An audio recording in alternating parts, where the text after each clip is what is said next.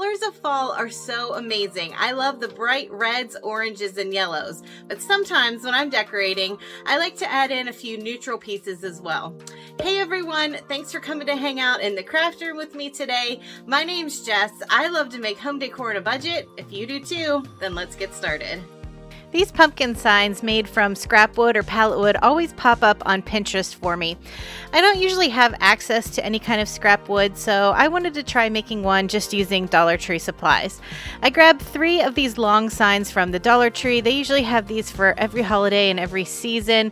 This one was kind of unique because the ends weren't just straight across, they had a little jagged edge to them, which I thought would give this sign more character.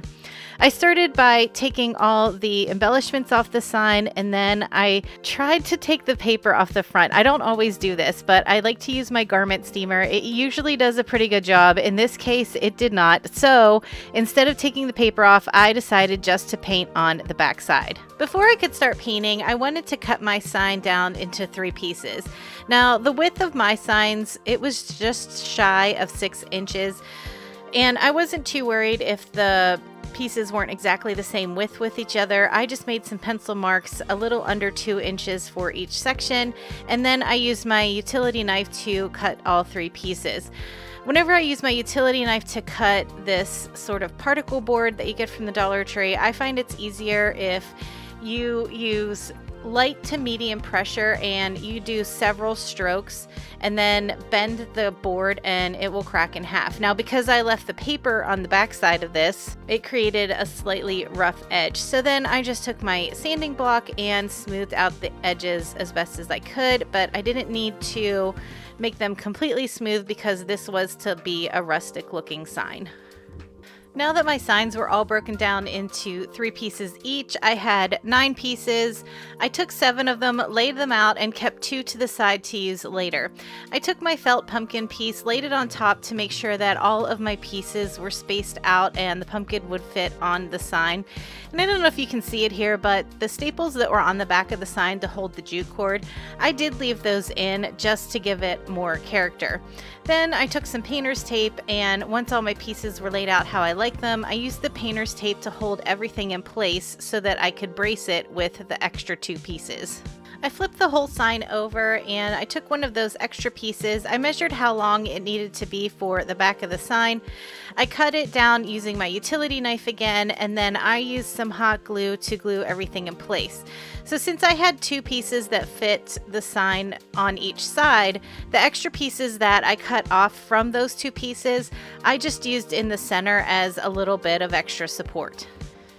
If you're still worried that the sign isn't sturdy enough, you could always go through and use a staple gun and add some staples to the back as well. To paint my sign, I started out with the Truffle Color by Waverly and I gave it a nice good coat all over the front of the sign and I made sure I got in between each of the slats as well to cover up those brace pieces. After that was dry, I went back in with the Mineral Color by Waverly and I started dry brushing all over the front of it. I concentrated more of the color on the edges and then I realized that's going to get covered up later. So then I started concentrating more of the color through the center of the piece where the pumpkin was actually going to sit. Now anywhere that I felt that I got too much of the mineral color, I just went back through with my sanding block and sanded over it to bring more of that truffle color back through.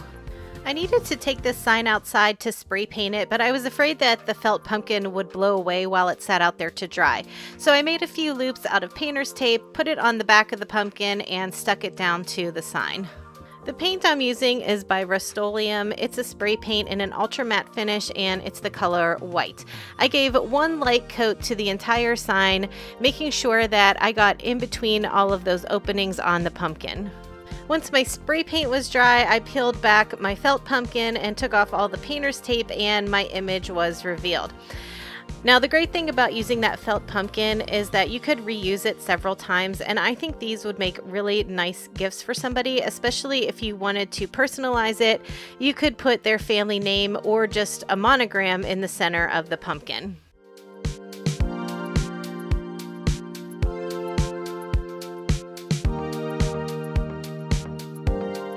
This metal pumpkin from the Dollar Tree was the inspiration for this next project. I wanted to create a trio of neutral pumpkins, so I took that along with a bigger pumpkin sign and a smaller wooden pumpkin.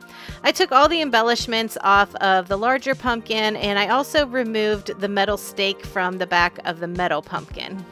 I used some of the spackling from the Dollar Tree. I filled in the holes at the top of the largest pumpkin and the stem of the smallest pumpkin. I painted each of the three pumpkins with the same color.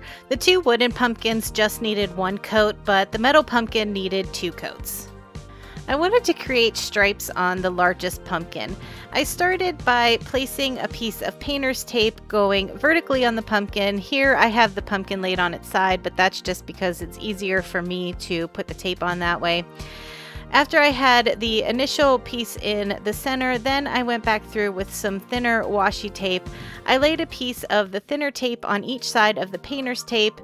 Then I laid another piece of painter's tape next to the washi tape and then I pulled up the washi tape and that's where my paint's gonna go. I wanted thinner stripes on this pumpkin. I just repeated that pattern the whole way across my pumpkin until all of my painter's tape was in place. Rather than creating a solid color stripe on my pumpkin, I took my paintbrush and I dipped it in the paint, dabbed most of it off, and I dry brushed it over all of the stripes so that some of that white color would show through and it gave it more of a diffused look. For the metal pumpkin, I wanted to really bring out the pattern that was embossed on the pumpkin. So I'm using the same color, dry brushing again, just very lightly over the surface so the paint just kind of catches on all of those raised areas. And for the smallest pumpkin, I'm just using the back of a paintbrush, dipping it in the paint and creating polka dots all over the surface. I use that same paint color again to define all of the stems on the three pumpkins. After all my paint was dry, I was ready to assemble the three pumpkins. For the metal pumpkin, I'm using a combination of this Fix-All adhesive from the Dollar Tree, which is their version of E6000, and some hot glue, because I've tried just using hot glue in the past and it doesn't always work great on metal. But the combination of the two glues together gives a nice strong hold. I needed to create an even surface for the smallest pumpkin to sit on. I used some hot glue. I attached one of the tumbling tower blocks from the Dollar Tree next to the metal pumpkin, and then I was able to hot glue the smallest pumpkin right to that. Even though I'm using all neutral colors today, I think this pumpkin trio would look great in some brighter colors also.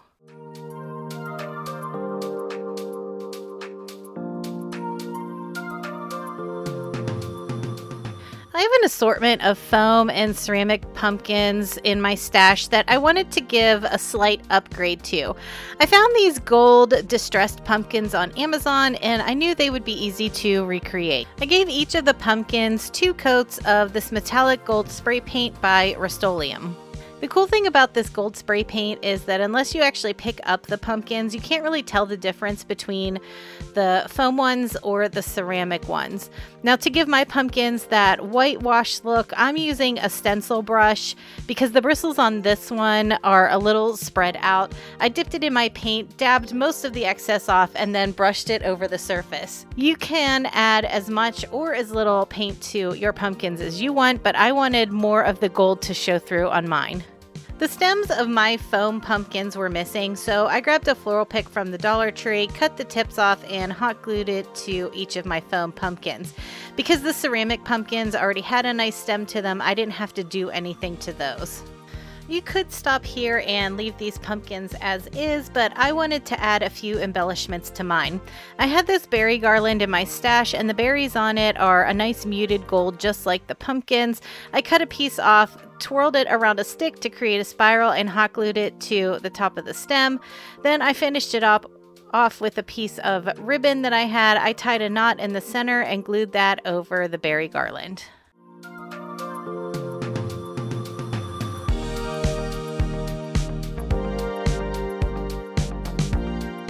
I love how grapevine wreaths look for any season, but especially for fall. These sweater pumpkins from the Dollar Tree are so cute, and when I saw them, I knew they would look great on a wreath. I started with this floral pick from the Dollar Tree. I cut some of the longer pieces off and I tucked it into the grapevine wreath on either side of the center of the bottom. That's the other thing I really like about grapevine wreaths is that normally when I put mine together, I don't have to use any hot glue. I can either just tuck things in or tie it on, and then I can take it apart and reuse it for another season. I clipped pieces off of another floral stem to act as my second layer to my wreath. This floral stem was a little bit too big to just use on its own. That's why I clipped the pieces off. I grouped three of them together, added a bit of hot glue towards the bottom, and then I used a piece of clear tape just to hold everything in place. Once that was set, then I was able to lay it on my wreath where I liked it, and I just tied it in place with a piece of jute. I took some wide burlap ribbon and I started creating a bow. I looped it over until I liked the width and I liked how it fit in the center of my wreath. I took another piece, looped it over, made it slightly smaller than the first one. I stacked those two together along with a third piece to act as a tail. I cinched everything in the center and tied it with a piece of jute. I left some longer tails on the jute cord so that I would have enough cord to tie on the center of the wreath as well. The final touch on this wreath is to add the sweater pumpkins and because they have these clips on the back it made it really easy. I was able to lay them in place and either clip them to the wreath itself or to any of the floral picks that were in there.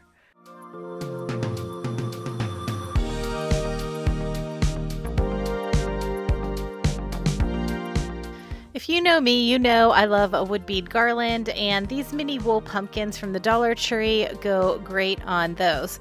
I started with a thinner piece of jute cord. I strung it through a needle that had a pretty big eye on it, and I doubled up the jute so that I was going to be stringing the beads onto two pieces of jute rather than just one. When I do a wood bead garland, sometimes I use all the same color bead, but sometimes I like to create a pattern out of different colored beads. For this garland, I used four white beads, a gray bead, a black bead, another gray bead, and then another four white beads. After the second set of white beads, I took my needle and I poked it right through the center of one of the wool pumpkins. This just has a little fiber fill in the center, so it was pretty easy to poke through. Then I repeated that same pattern until I liked the length of my garland. For the tassels for the ends of my garland, I'm using this gray and white baker's twine that I got at the Dollar Tree. I wrapped it around my sanding block about 30 times. I tied it in the center to hold it in place and then I clipped off the ends. Now because I used two strands of jute string to string my beads, I was able to tie this tassel right to the end of the beaded garland. After my tassel was tied on to the garland, I dropped about an inch down from the end of the beads. I took another piece of baker's twine and I tied it in place. Then I had to give a little haircut to the bottom of the, tassel to even out the edges.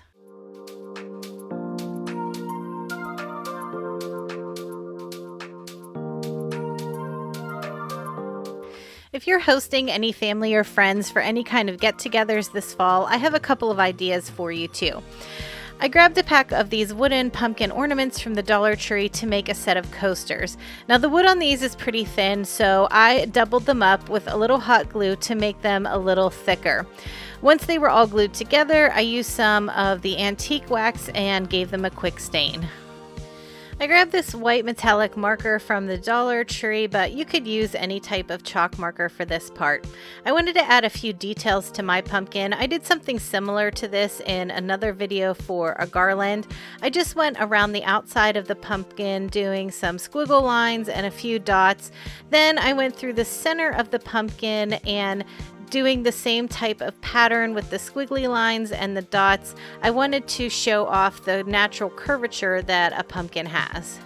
You can seal coasters with regular Mod Podge, but I always like to use the dishwasher safe kind because I think it holds up to more heat and because there may be hot beverages placed on these coasters, I wanted them to be more protected. I gave each of my coasters two coats of this Mod Podge. Even though there's going to be a cup or a mug on these coasters, I couldn't help but add a little embellishment.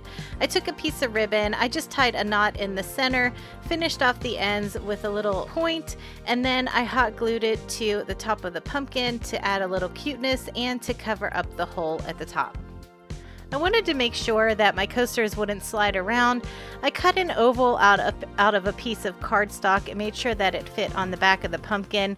Then I used that oval as a pattern to trace onto the adhesive cork sheets that you can find at the Dollar Tree. And because they do have a sticky back, I just had to peel it off and stick it to the back of my coaster.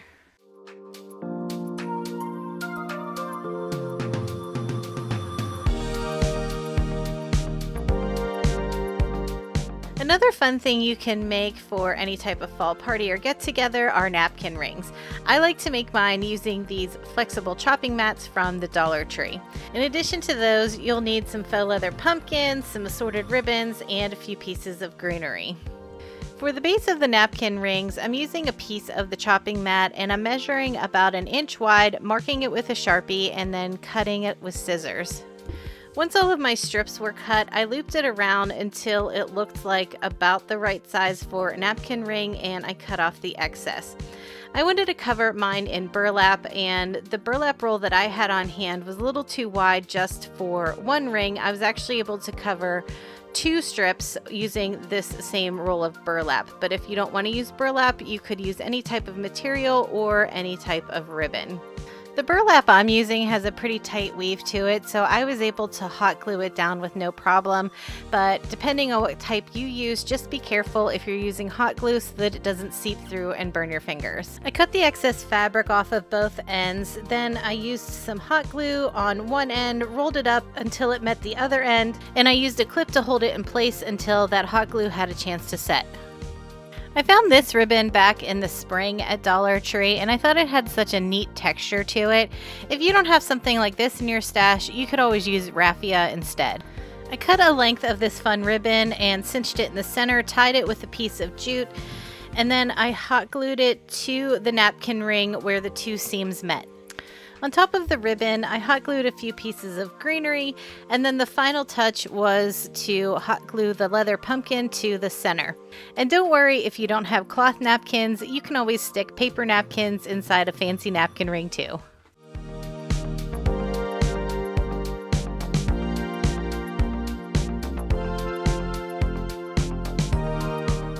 Thanks for coming to hang out in the craft room with me today. I left some more videos on the screen that I think you might like.